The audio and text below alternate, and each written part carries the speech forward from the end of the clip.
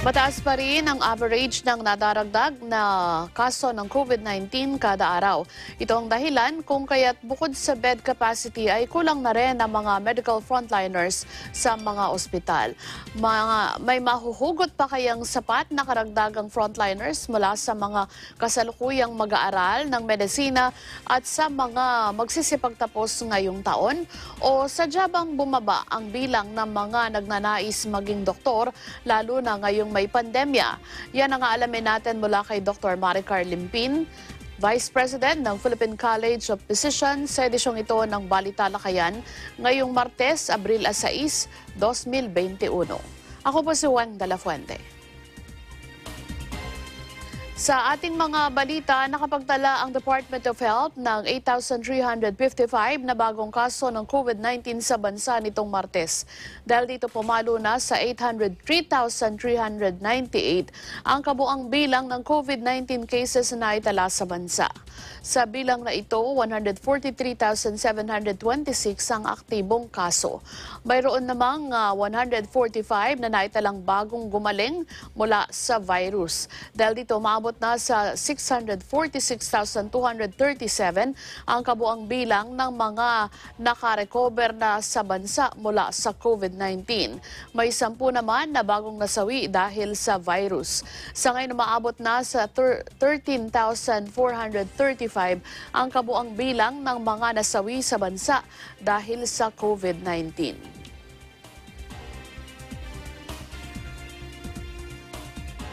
Paubos na ang supply ng personal protective equipment o PPEs para sa mga hospital staff na gumagamit o gumagamot sa COVID-19 patients. Sinabi ni Dr. Maricar Limpin, Vice President ng Philippine College of Physicians, na iparating sa kanila ang nakakabahalang ulat ukol sa papaunti o papaubos na supply ng protective gear, gayon din ang usapin sa kalidad ng ilang PPE na available.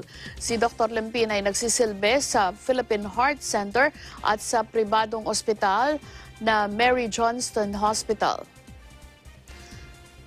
Nanawagan ang manggagamot na mabigyan ng pansin ang isyu ng PPE lalo pat nakasalalay dito ang kaligtasan ng mga medical health workers na umaharap sa paglaban sa COVID-19. Naunang tiniyak ni National Task Force Deputy Chief Implementer Vince Dizon na tinutugun, tinutugunan ng national uh, government ang pangailangan ng mga public hospitals sa mga kailangang supply gaya ng PPE.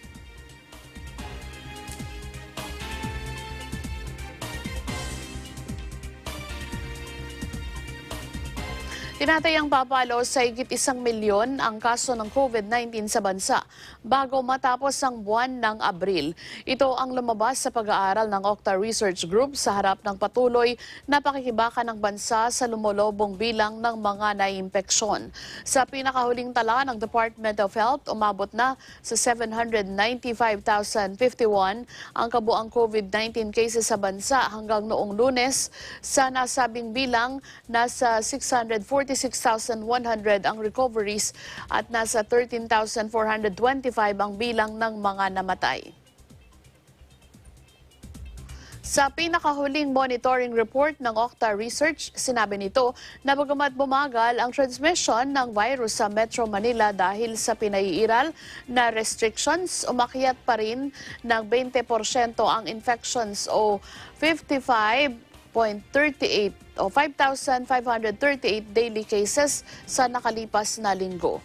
Sa March 29 to April 4, period, bumaba sa 1.51% ang reproduction number sa Metro Manila o nangangahulugan na bawat kaso ng COVID-19 ay nakakahawa ng higit sa isang tao. Inaasahang bababa ang reproduction rate sa 1.3 o mas mababa pa pagsapit ng Abril 11. Sinabi ng Octa Group na epektibong nakatulong ang lockdowns para mapabagal ang pagkalat ng virus sa National Capital Region. Kapansin-pansin din umano ang mas mabagal na transmission sa Maynila, Paranaque, Marikina at Navotas samantalang naitala naman ang Pasay at Makati ang downward trend sa mga bagong kaso. Gayunman, mabilis naman ang pagkalat ng infection ang uh, naobserbahan sa Mandaluyong, Las Piñas at San Juan.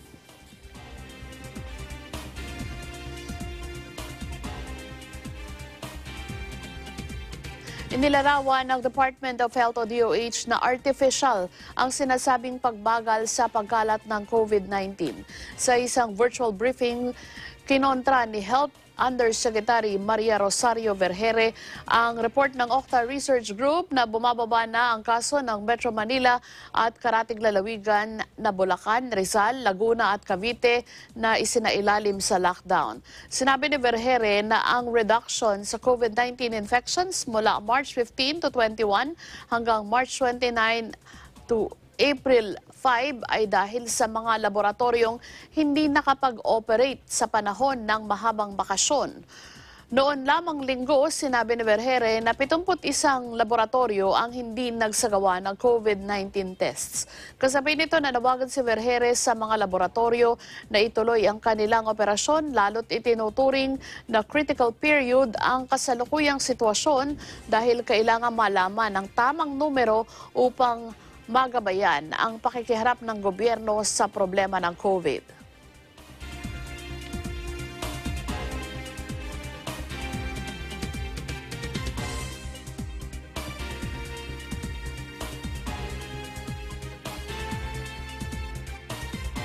Pansamantalang pinagbabawalan ng mga biyahero mula sa NCR Plus, Cebu City at Davao City na magtungo sa Western Visayas kung saan matatagpuan ang Boracay Island.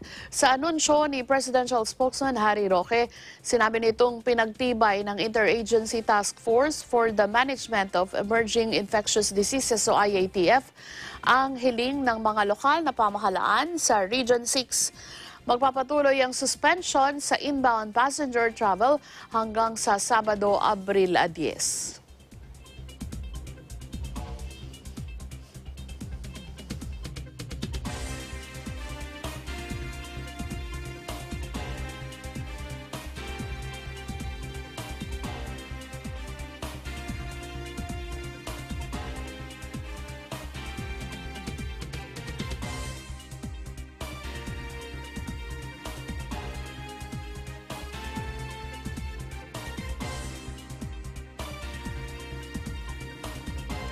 Hindi pagbabayad ng PhilHealth sa mga pasyente na nasa mga makeshift at tent na mga ospital labag sa batas ayon sa mga senador. Si Mean Corveras sa report. Mean? Binilaan ng mga senador ang PhilHealth na labag sa batas ang kasalukuyan itong patakaran na hindi ituturing na paggamot at hindi dapat bayaran ang mga pasyente na nakalagak sa mga tents at makeshift na naghihintay ng mga kwarto o bed sa mga ospital. Sa kasalukuyan dahil puno na ang mga ospital sa mga makeshift tents muna ginagamot ang ilang pasyente na hinihinalang may COVID-19. Sinasabing ang mga pasyente ay pinagbabayad ng isang libong piso kada oras dahil hindi umano sakop ng PhilHealth ang kanilang pamamalagi doon at dapat nasa isang kwarto o bed sila sa loob ng pagamutan. Pero paalala ni na Senator Sani Angara, Sherwin Gatchalian at Juan Miguel Zubiri, malinaw sa Universal Healthcare Law na dapat lahat ng Pilipino ay may access sa health services at benepisyo ng PhilHealth. Kasama nila sa mga benepisyong ito ang emergency at outpatient services. Bilang government corporation, obligasyon nila ng PhilHealth na magbigay ng solusyon lalo na sa nararanasang healthcare, healthcare coverage crisis. Hinihimok naman ng mga senador si PhilHealth President Dante Geran na bumalangkas ng standard policy at guidelines para sa mga pasyenteng nasa mga tent na naghihintay ng kanilang admission. Para sa Eagle News, may Ann Corvera, Willie Virendres Tigsan.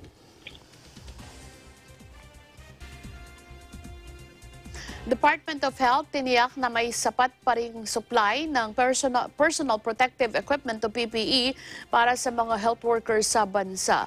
Ang detalye hatid naman ni Madeline Villar Moratilio Mads. Yes, tiniyak ng Department of Health na hindi magkakaroon ng shortage ng personal protective equipment para sa mga health workers sa bansa. Ayon kay DOH Undersecretary Maria Rosario Berjere, may sapat silang stock ng mga PPE para ipamahagi sa mga ospital. Ang mga stock na ito ng PPE ay mula pa anya sa mga binili ng kagawara noong nakaraang taon. Never Harris sa ngayon, wala pa silang nakikitang shortage ng PPE sa kabila ng patuloy na pagdaas sa mga kaso ng COVID-19. Matatanda na noong nakaraang taon, nagkaroon ng kakulangan sa supply ng PPE sa maraming ospital sa bansa. Ang ilang sa mga health worker na pilitan pang mag-improvise para lamang mayroong magamit. Para sa Eagle News, Adilang Bilang Rapidyo with Evelyn Taras in Direct.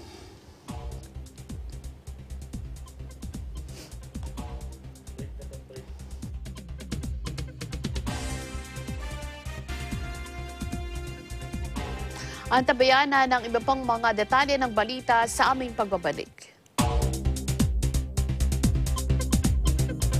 Totoo ang kasabihang may pera sa basura lalo na kung magagawa ang iba't ibang bagay mula sa mga recyclable material na inaakala ng iba na itatapon na. May ilang barangay sa bansa ang nagre-recycle ng basura at makikita ang iba't ibang bagay na gawa sa basura.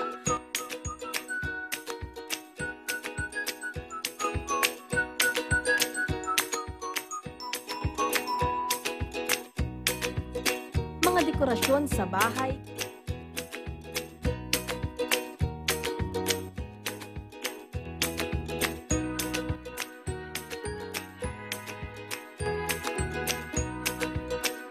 Sa mga proyektong ito, nagiging malinis ang kapaligiran bukod sa mayroon pang pagkakakitaan.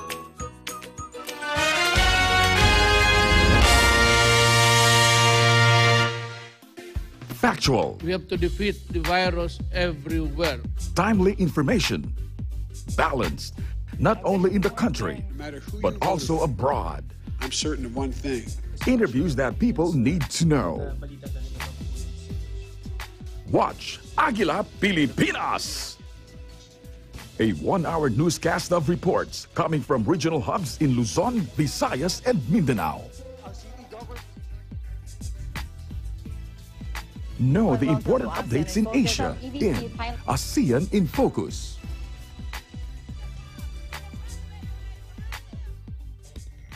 Track the latest stories in the provinces in Aguila Provincia.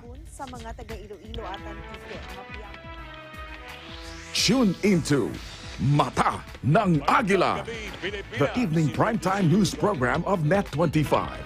Balanced and objective, Mata ng Agila covers national and international issues, tackles news on business, health, science, and technology, entertainment, sports and human interest features, and current events.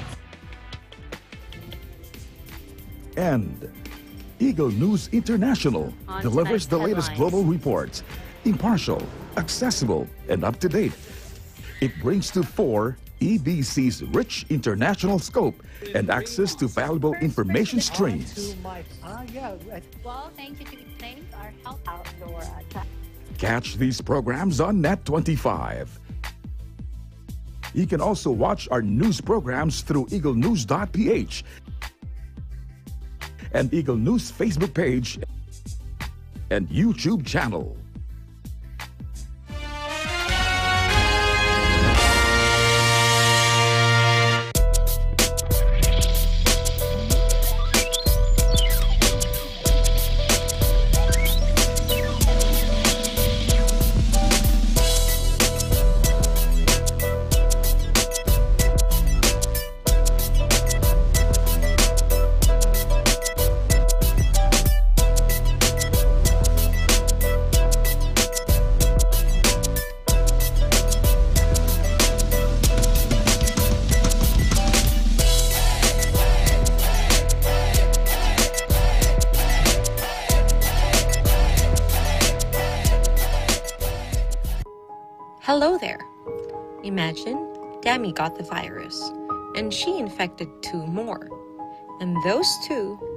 Infected a lot more of people. And it goes on and on until it became an epidemic. But what if Demi stayed at home? Then those two wouldn't have contracted the virus then those people would have not been infected. This is not just your battle, it's everyone's, and you can be a huge help. Follow social distancing, or better yet, stay at home. Innovation, digital disruption, globalization. Startups, micro, small, and medium enterprises, as well as large corporations, all face interesting challenges in the market today. Peek into the world of exciting opportunities and partnerships to drive growth with the latest business news and information. We are open for business. Your weekly dose of entrepreneurial inspiration to update you on the latest developments in the world of business. Get up close and personal with CEOs and thought leaders to help you discover valuable insights, sharpen your instincts for smart decision making with the latest markets and economic trends, disruptive ideas, global innovation, social entrepreneurship, and other leading edge business ideas. Join the conversations to create a more vibrant environment for entrepreneurship. Catch Open for Business from vision to action.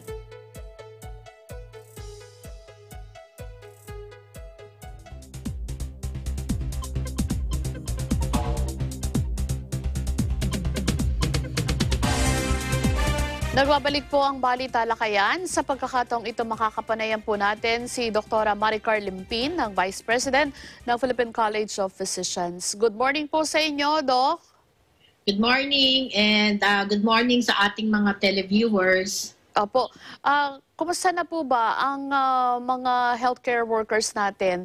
Ah, sa ngayon po alam namin mataas ang bilang ng mga hanay ng nagkakasakit. Ilang mga senador din po kasi ang nangangamba na baka bumagsak yung healthcare system po natin dahil sa pagkakasakit ng ating mga healthcare workers. Yes, ah marami talaga sa mga healthcare workers natin ah, tinamaan din no na na-infect with COVID-19. So marami sa kanila ay ah, naka-quarantine no and may mga mangilan-ngilan na rin tayo na healthcare workers na ah, na, na nasawi dahil dito sa COVID-19 na pandemic na ito. Mhm.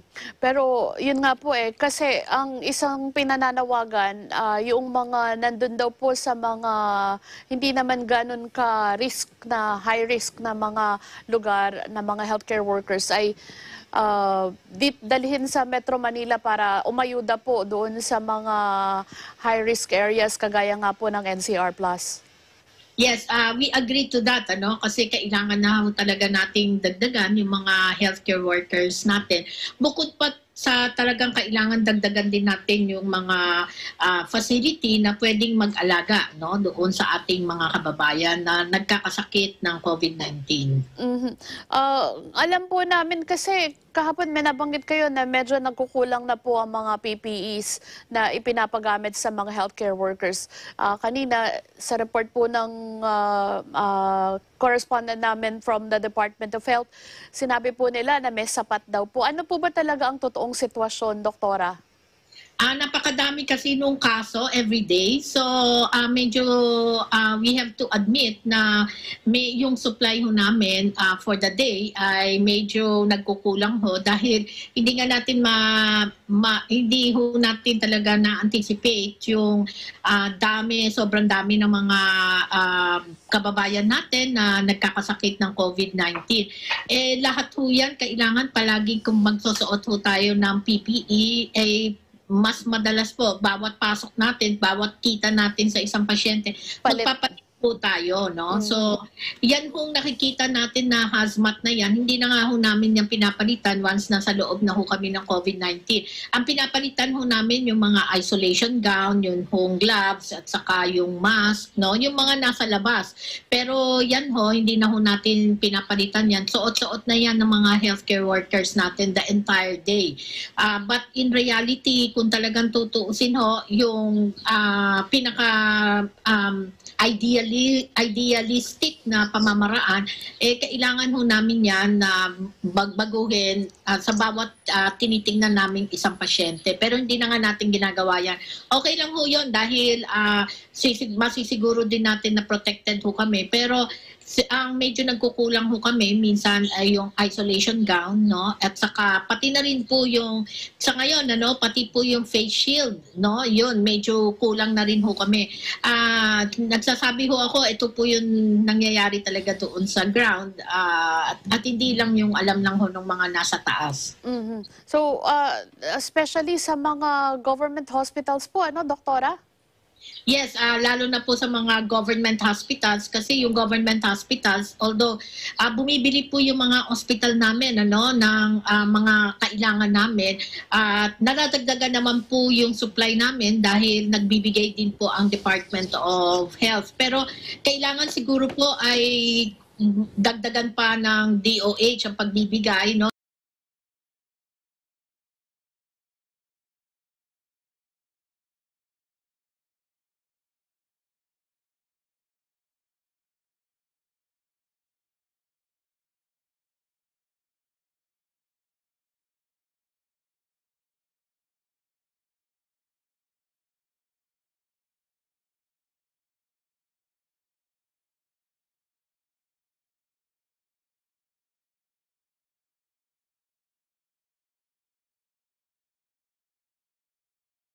kailangan magpalit na, na naman kami pagbabalik po kami doon sa COVID area. So talaga hong ah, sa isang araw, eh, madalas po nating kakailanganin na magpalit ng mga PPEs na yan. Mhm, May isang question pa po eh, yung kalidad ng mga PPE na, na ipagkakaloob po sa ating mga health workers. Kasi sabi nga, um, hindi pa rin nakakaligtas po yung ating mga um, gumagamot sa COVID, ah, pati sila na-infect. Yes, ah kasi parang napansin ho namin nitong mga nakaraan, although bumili ho ang hospital namin ng N95, pero napansin ho namin mukhang hindi ho totoong N95, no? So I think ah, siguro kailangan uh, tignan ito ng ating government agency, kung sino man ho yung responsible dito, maybe the Department of Trade and Industry. Siguraduhin lang ho na yung mga binibenta po in the market ay yung totoong mga N95. Pag sinabi hong N95, totoo po yun. Ah, napansin ho namin mukhang hindi po siya talagang totoo kasi minsan ah, masyadong malambot, no? So, hindi ho namin masyadong maintindihan bakit to ganun. Eh, yun hong mga dating na gamit ho namin, eh, hindi naman ho ganun kalambot. So, it, ah, yun ho yung mga problema ho natin ngayon kasi I think ah, marami hong ah, dapat at siguro mananawagan tayo doon sa mga entrepreneurs natin. Ano? Huwag naman ho ninyo samantalahin na porke meron tayo, nasa gitna ho tayo ng pandemya, eh sasamantalahin ho natin yung pagbebenta ng mga bagay-bagay katulad ng PPE na ito, yung mga N95 mask na ibebenta ho ninyo pero hindi ho ninyo ah, hindi sigurado yung quality. No? Pa- Sana po pag nag-ano tayo ng 3 kunyari 3M N95 o kaya Honeywell na N95. Totoo pong 3M at saka ah, Honeywell N95 yan. Hindi po yung fake. Kasi yung problema namin, baka kaya marami-rami din po ang nagkakasakit sa amin, eh dahil po yung gamit-gamit namin, nakala namin, eh ah, nabibigyan kami ng sapat na proteksyon, eh hindi naman pala. Hmm, napasok na din po pala ng mga fake pati yung ating mga supplies ano. Pero yun nga po doktora, ah, pangalawang linggo na po yung itinatakbo ng ating enhanced community quarantine. Ano po ang pananaw ng mga health workers? Nakakatulong po ba sa pagbaba ng kaso? At definitely po, no, ah ito pong enhanced community quarantine na isinailalim ho tayo dito sa NCR ay makakatulong po para mag, makapagpababa ng ah, kaso ng COVID-19. But ah, please, wag ho ninyong i-expect na ngayong-ngayon din ay makikita natin ang, ang epekto nito. No? Makikita ho natin ang effect nito after 2-3 weeks pa po or even 4 weeks. No? Doon pa lang ho natin makikita yung ah, magiging epekto po nitong enhanced community quarantine na ito. Not at this point. So talagang ah, expect na by this week and by next week, mataas pa rin po yung number ng mga ah, kaso po natin ng COVID-19. Mhm. Doktora, ano po yung sa pag-uusap ng mga manggagamot? Ano po yung nakita ninyong ah, rason sa mataas na pagtaas? Kawalan ho ba ng disiplina o talagang mabagsik lang talaga yung variant po ng COVID ngayon? Well, ah yung yung presence po ng variant ano, ah UK variant, yung South Africa, maski po yung sinasabi nilang Philippine variant, whatever it may be, um yan pong mga yan ay pwede pong nag nag nakaka-contribute doon sa mabilis na transmission, yung infection, na ka- pagkalat ng infection, ano. So yun po yung ano. But more than this, importante po talaga yung pagsusuot yung pagsusuot po ng face mask and face shield at saka pag-maintain ng physical distance no? Importante po ito. At ah, basically ah, sa ah, wag lang magalit ang mga tao no? Ah, kailangan ko ho talagang i-remind ang lahat na ah, ito po lang ang tamang para ah, ta- paraan para ma-prevent po natin yung um, yung transmission ng sakit. Kahit anong variant po yan, ito pa rin ho ang ating kailangan gawin. Effective pa rin po ito kahit sa anumang klasing ah, COVID-19 yan na meron tayo, variant man o yung, yung, yung dati po no, na original, yan po ay mapa, mapipigilan po natin ang transmission sa pamamagitan ng pagsunod pagsunod ng ating minimum health protocols no? So again i-remind ko yung face mask at saka yung face shield dapat po suot-suot ho yan palagi at dapat sinusuot natin ng tama hindi po yung katulad nung nakikita natin na nasa ah, Ilalim ilan- ng ilong. ilong o kaya minsan nandito ho Sa sa, baba. baba. Mhm. Tapos yun, yung face shield ay parang ginagawa ho nilang visor. Mm. Dapat ho yan, nakatakip po yan sa ating ah, mukha, no? Kasi barrier po yan para doon sa paglanghap din natin ng virus. At yung physical distancing, importante po ito, no? At nakita naman ho natin, most of the time, ito unang-unang lagi ding ah, na violate ano? Hindi na ho natin na maintain ang physical distance. Lalong-lalo na po doon sa mga transportasyon no? So aminin man ho o hindi ng ating ah, ng mga bus owners no? Yung mga kung sino man ang may-ari ng mga buses na yan saka mga jeepneys maski po yung LRT at aminin man ho, o hindi ng ating mga local government unit eh hindi naman ho nila napapatupad talaga ng husto yung i- pag-i-implement ng mga minimum health protocols. So importante po ang role ng LGU. Kahit na sabihin natin may mga tao tayo na na nagva-violate, hindi sumusunod. Pero kung nandiyan po yung mga LGU at nandiyan po yung mga enforcers, patuloy po na nire-remind ang mga tao, makita ho nila na merong hindi tama ang pagkakasuot, ay sitahin na ho nila kaagad. Hindi naman natin sinasabing hulihin. Sisitahin lang ho para ho ah, masunod ho ang mga health protocols natin. At yun ang kulang na kulang na hindi ho natin nakikita. Mhm. Ayan, maraming salamat po sa panahon ngayong umaga, Doktora. Stay safe, everyone. Opo. Ang atin pong nakapanayam ay si Dr. Maricar Limpin, ang Vice President ng Philippine College of Physicians. Sa ating pagbabalik, pag-usapan pa rin natin ang usaping pangkalusugan. Makakausap po natin si Congressman Mike Defensor ng Anak Kalusugan Party List. Diyan lamang po kayo, magbabalik pa ang Bali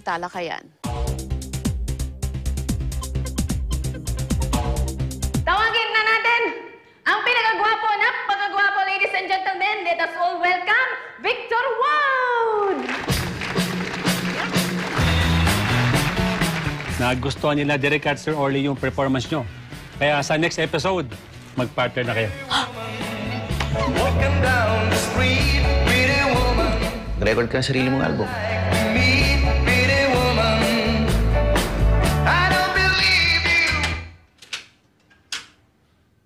Wala. Hindi papatok yung ganyan style. Payagan niyo lang ako mag-record uli. I'm sorry, my love, if I've broken your heart. Si Arceli nga po pala, fiancé ko. Hindi ka naman dapat kabahan eh. To forgive me. Kapag nakapag-ipon ako, papakasal na tayo. Ihanda nyo na yung kontrata schedules. Ilalabas na natin to sa buong Pilipinas. Let me kiss and hold you tight. Kalahati lang ng TF ni Rico at ni Ray yung TF ko eh. Kung sino ang mas sikat, yun ang mas may malaking talent fee. Eh kung kasikatan lang ang pag-uusapan, masikat naman ako sa mga yan. Noon yun, Victor. Pero hindi mo inalagaan. Kaya kong bumangon kahit wala ka.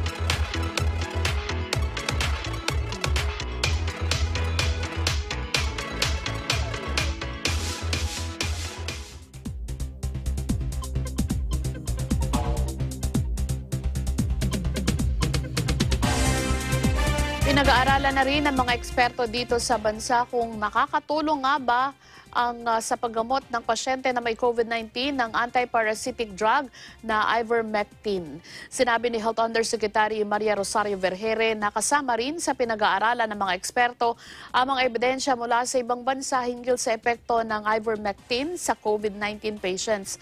Una rito kumalat ang mga balita na nakakatulong umano sa paggamot sa COVID-19 ang ivermectin at maging House Speaker Lord Alan Velasco ay nanawagan sa DOH at Food and Drug Administration na pag-aralan na rin ang ivermectin at iba pang ah, repurposed drug bilang ah, posibleng panggamot sa COVID-19 sa harap ng lumolobong kaso ng infection sa bansa. At kaugnay po niyan, makakapanayam natin si Anak Kalusugan Party List Representative Mike Defensor. Magandang umaga po sa inyo, Kong Mike.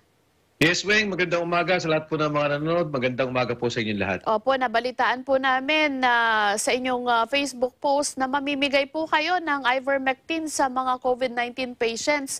Eh, may warning po ang ah, Food and Drug Administration ukol sa gamot na ito. Anong masasabi niyo po? Well, una sa lahat, Weng, ang warning ng Food and Drug Administration ay hindi para doon sa human-grade ivermectin. Ang sinasabi nila, yung veterinary grade na ivermectin. At tama naman sila. Dahil ito yung talagang ah, pang-aso o yung pang, ah, tawag dito, pang-animal. Hindi naman yan yung pang-tao. Hayop. oo. O, panghayop. Pa, pangalawa, ah, yung ginagawa naman natin is within the framework, framework of the FDA. Kasi, alam mo, Weng, ma, nag, nung tayo nagkaroon ng hearing, sinabi nga natin sa kanila, yung ivermectin ay nasa WHO yan sinasabi, safest drug. Pagdating sa US, US FDA, sinasabi nila ito ang isa sa mga pinaka ah, safe na drug. No? Ganyan din ang sinasabi. And maging doon sa hearing natin, ganun din ang sinasabi ng Philippine FDA. So, established na yan na ito'y safe at wala tong side effect. No? Ah, mas masama pa nga yung pag uminom ka ng paracetamol o yung ibuprofen. Yung mga ininom natin na over-the-counter, pag nasobrahan ka dyan, medyo hindi maganda. Ah, pangalawa, ah, yung ginagawa natin ay nasa proseso nung sinasabi dun sa FDA dahil nga may mga pinayagan na silang ah, nasa drug formulary kasi natin yan na ivermectin, may mga gumagawa pero wala silang registered na gamot. Parang bang sa rubber shoes, Weng, pag sinabi nating rubber shoes, walang nakaregister na Adidas, walang nakaregister na Nike. Kaya itong ah, drugs na to na ngayon ay may gumagawa na, ang sabi nga natin, payagan nyo na yan. At bat- batay dyan sa mga gumagawa na to ng mga ah, compounding laboratories, ay pwede lang pwedeng gamitin ng tao. So ito yung nangyari ngayon sa wing sa panahon ngayon na inaayos natin yung proseso, merong kakaroon, nagkakaroon ng prescription at batay doon, ay nagkakaroon ng production ng ivermectin. Pero napaka-limited ng gaming ginagawa, no? konting-konti, dahil nga konti lang ang allowed na gumawa nito. At magugulat ka, Wing, sa gabi ng listahan namin ng humihingi. May listahan na ako ng mga general, may listahan ako ng mga abogado, may lista, listahan ako ng mga taga-UP, may listahan ako ng mga doktor. No? At na maging dyan, pating listahan namin na sumusulat sa amin dun nga sa aming ah, page na humihingi ng ivermectin. Pero sabi ko nga ako, kung maaari po sana, unahin natin yung ating senior citizens, ang ating may mga sakit, ah, para naman sila yung una nating matugunan at tulungan. Mhm. Ah, sabi po ng DOH, ang pagtuturing or ang classification nila dito ay parang under clinical trial pa din po. Ah, tama yun. Ah, unang-una, talagang dapat, wala pa nga tayong ginagawang clinical trial. Pero ito yung sinasabi natin na para mga reports. Kasi yung trial talaga, napakahigpit ng proseso dyan. Ano? Ah, kailangan talagang titingnan nila yung, yung kondisyon, titingnan nila yung anong inom mo, anong kinain mo. Ano. Ah, lahat ng kondisyon is un- under a clinical trial. Tapos, ito ay ginagawa na para bang isinasabay sa placebo. Ah, yung isa may ivermectin, yung isa naman may placebo. So, yun yung proseso ng isang clinical trial. Okay yan at dapat naman talaga gawin natin yan. Pero dapat naman dun sa mga gumagawa sa ngayon. Kasi alam mo, Wing, no, meron talagang ah, mga ginagawang pag-aaral sa ngayon sa iba't ibang bansa. At ito naman yung makikita nila sa FLCCC. FLCCC, yung Frontline ah, COVID Care na organization. Ah, meron din po dun sa uh, sa Inglaterra, yung UK, uh, BIRD, B-I-R-R-D. Pero doon po sa FLCCC, nandun po lahat ng clinical trials na isinasagawa sa ngayon. Napaganda nung isa sa mga ehemplo nila ng mga nangyari doon sa uh, Peru na doon sa lima at doon man sa limang uh, siyam na lugar na, pina, na ginagamit to sa kanilang mga sa kanilang mga esta, yung states no doon sa Peru makikita mo na bagsak na bagsak talaga yung uh, pagkamatay ang pinaka-importante din yung pagkamatay uh, dahil sa COVID-19 at uh, kumpara doon sa mga nahahawa kumpara nga doon sa Peru talagang bagsak dito sa limang uh, na lugar na to Pagdating sa Mexico, dahil pinagbawal din ng Ministry of Health ang paggamit ng uh, uh, COVID, ng ivermectin, yung Chiapas, ginawa niya, nagkaroon siya ng deworming campaign. Ang namatay lang sa kanila, apat. Kumpara doon sa daang-daang namamatay sa iba't ibang lugar. Uh, ito din ay ginagawa ngayon sa Portugal. Uh, ang ibig ko sabihin, Weng, malinaw nakikita mo yung numero. Mm. Kung sino yung uh, binibigyan ng mga lugar at bumabagsak ang pagkakahawa at bumabagsak din ang uh, pagkamatay. Sa Argentina, may ginawa silang pag-aaral, uh, walong daang doktor, uh, binigyan na ng ivermectin. First, nakapag, ano na to, ha, nakapag-vaccinate na to. At doon naman sa 400 na doktor na walang ivermectin. Doon sa 800, 100% no, na walang nahawa sa COVID-19. Doon sa apat na daan na walang ivermectin, 50% naging positibo sa ivermectin. So ito yung mga lumalabas na pag-aaral, Weng. Ito naman ay hindi uh, ginagawa na itong sa Estados Unidos sa ngayon. Patuloy na ginagawa ang pag-aaral, ang peer review na sinasabi lang yung mga sinusulat tungkol dito. And I'm very glad that dito sa ating bansa ay ginagawa na rin yung mga pag-aaral na dapat.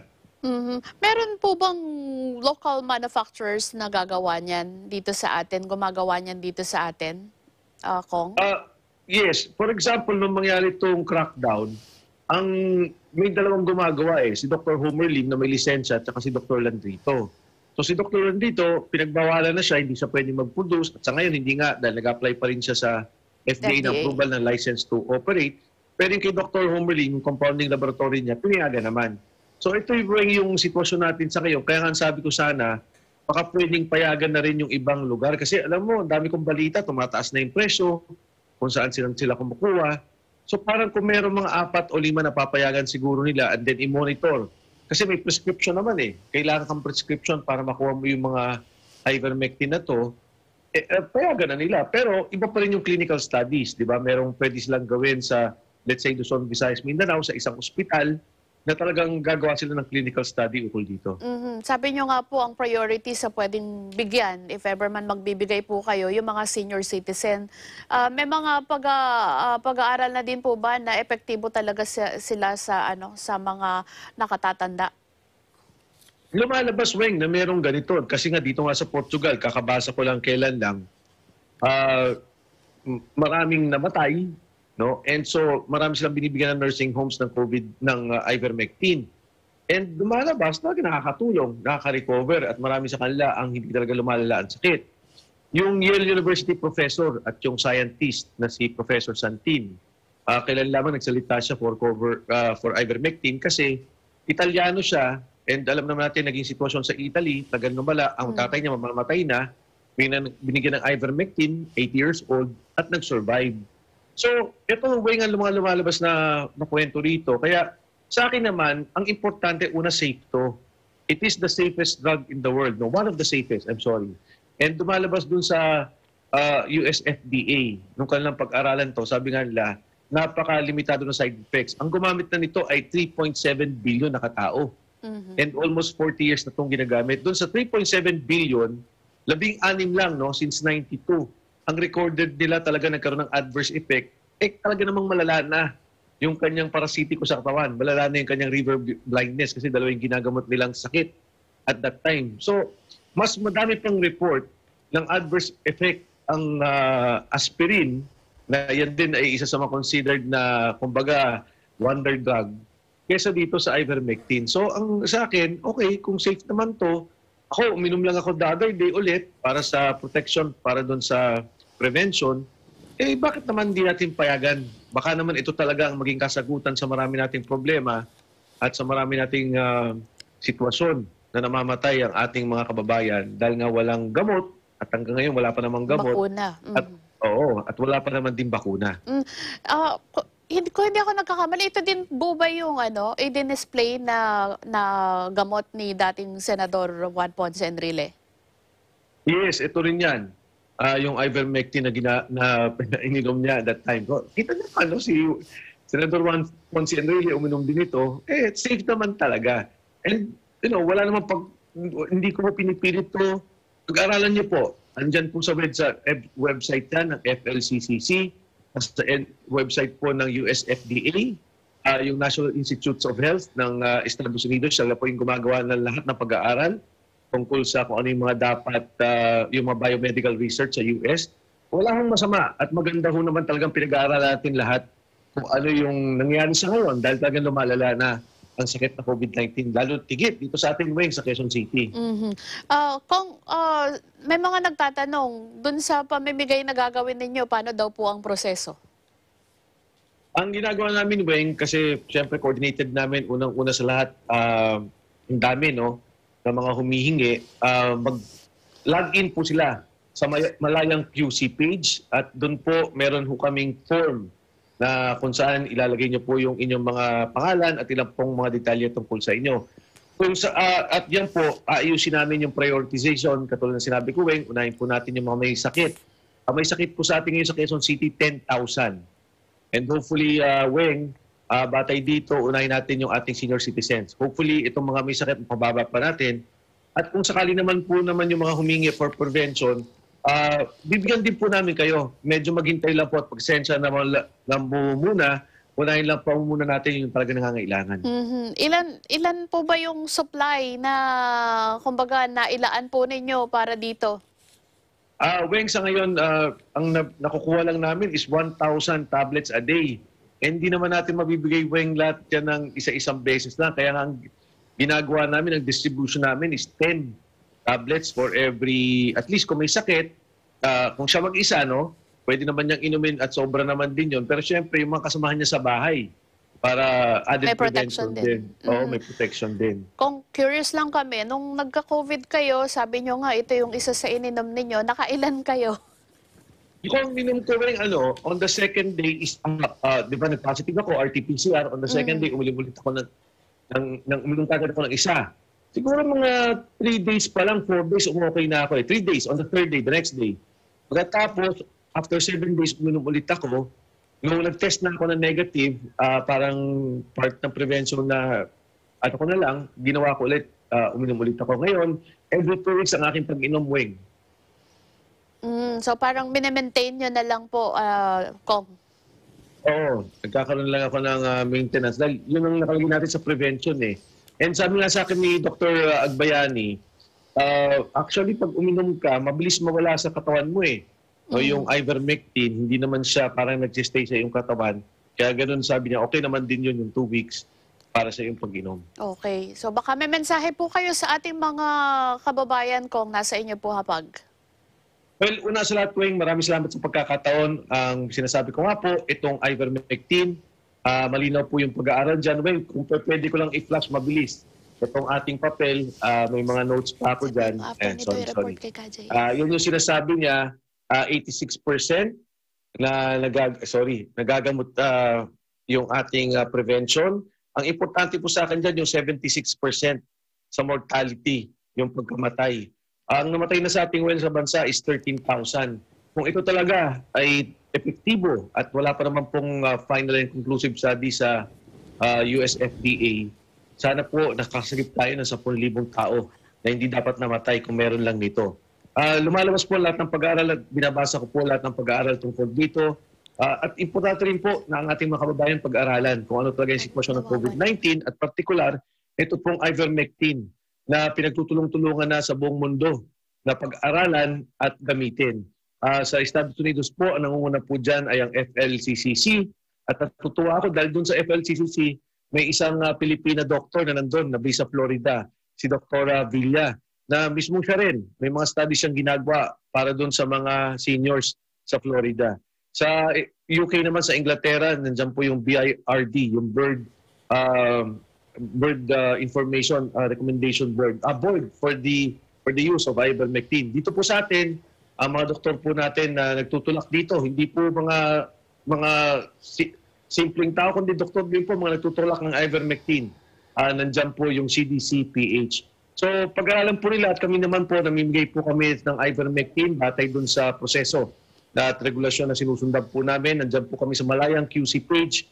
Mag-login po kayo. Pero inulit ko po na baka isipin nyo pag login nyo bukas o ngayon makuha nyo kagad yung ivermectin, inuuna po natin yung mga dapat bigyan dahil nga po sa nasabi ko, pinakamataas na po ang Quezon City, 10,000 na po ang may sakit na COVID-19 at gusto po natin tulungan lalo tigit ang ating senior citizens. So, Wing, maraming salamat sa pagkakataon at magandang umaga po sa inyo lahat. Okay, magandang umaga po. Maraming salamat. Si Congressman Mike Defensor po ng Anak Kalusugan Party List ang atin pong nakapanayam. Samantala pumanaw na sa edad 79 ang pangkalahatang auditor ng Iglesia ni Cristo na si kapatid na Glicerio B. Santos Jr. Inilagak ang kanyang labi nitong linggo sa Loyola Memorial Park sa Marikina City. Ang kadyon ay naging mabisang katuwang ng pamamahala ng Iglesia ni Cristo. Si Leander Denver Garcia sa detalye. Pumanaw noong Sabado, Abril 3, 2021, sa sakit na pneumonia ang General Auditor ng Iglesia ni Cristo na si kapatid na Glicerio B. Santos Jr. na mas kilala sa tawag na Kajun. 70 siya mataong gulang si Kajun na sapit sana sa kanyang ikawalumpong taon sa darating na Hunyo a 12. Ginunita kamakailan ang ikalimampung anibersaryo ni Kajun sa tanggapang pangkalahatan ng Iglesia. Naging mabisang katuwang ng pamahala ng Iglesia ni Cristo si Kajun sa pagtataguyod ng mga programa para sa kapakanan ng mga kaanib at hindi kaanib sa Iglesia ni Cristo. Sa atas ng tagapamahalang pangkalahatan, ang kapatid na Eduardo V. Manalo, pinangunahan ni Kajun ang mga proyekto para sa kabuhayan sa ilalim ng Unlad Kabuhayan International gaya ng eco-farming, dried fish, garments at housing projects dito sa Pilipinas at iba pang panig ng mundo gaya sa Amerika, South Africa at Latin American countries. Ang mga programang ito ay bilang bahagi ng paglaban sa kahirapan na nagbunsod sa Worldwide Walk for Typhoon Haiyan at Worldwide Walk to Fight Poverty na kapwa nagresulta sa pagtatamo ng pagkilala ng Guinness Book of World Records. Sa atas din ng tagapamahalang pangkalahatan, inilunsad ng kadyo ng mga malaking lingap sa mamayan o aid to humanity sa iba't ibang panig ng mundo. Sa gawaing pagpapalaganap ay pinangunahan ng kabayan ko kapatid ko o my countrymen, my brethren at mga lingap pamamahayag. Naging instrumento rin ng Kajun sa pagtatayo ng Philippine Arena, ang pinakamalaking indoor arena sa buong mundo na ipinagkawang-gawa ng Iglesia ni Cristo sa gobyerno ng Pilipinas para ipagamit sa paglaban ng bansa sa COVID-19. Bukod pa rito ang iba't ibang mga donasyong ginawa ng Iglesia ni Cristo sa mga ospital at lokal na pamahalaan para sa pagbaka sa pandemya. Sa panahon ng pandemya, naging malaking suporta si Kajun sa pagsisikap ng Eagle Broadcasting Corporation sa paghatid ng saya at pag-asa sa mga mamamayan. Sa pamagitan ito ng suportang ibinigay niya sa mga programang Happy Time, Kesaya-saya, Unlad Kaagapay sa Hanap Buhay, Tagisan ng Galing, Himig ng Lahi, It's Singing Time, Letters and Music, Ang Daigdig Ko'y Ikaw, Ikaw ay Akin, at sa mga news programs sa Pambansang Almusal, Balitalakayan, Agila Pilipinas, Mata ng Agila at Eagle News International. Gayon din ang pelikulang The Jukebox King, A Life Story of Victor Wood. Sinuportahan din ng Kajun ang pagbabagong anyo ng Eagle FM 95.5 na ngayon ay nagtataguyod ng classic music. Naulila ni Kajun ang kanyang may bahay na si Dr. Annie P. Santos at mga anak na sina Dr. Glicerio Sergey P. Santos III, Attorney Glicerio G.P. P. Santos IV, Gertrudes Jet P. Santos at Gertrudes P. Santos Machas III. Para sa Eagle News, Leander Denver Garcia will live in interesting times. At yan ang balitalakayan ng teleradyong handog sa inyo sa pagtutulungan ng Net25 at Radyo Agila. Ang programang tumatalakay sa mga pangunahing mga balita kasama ang mga personalidad sa gobyerno at lipunan na magbibigay linaw sa mga pangyayari ngayon at paano ito makakaapekto sa mga karaniwang mamamayan. Samahan kaming muli bukas. Ako po si Wen Dalafuente at ito ang Balitalakayan. We live in interesting times.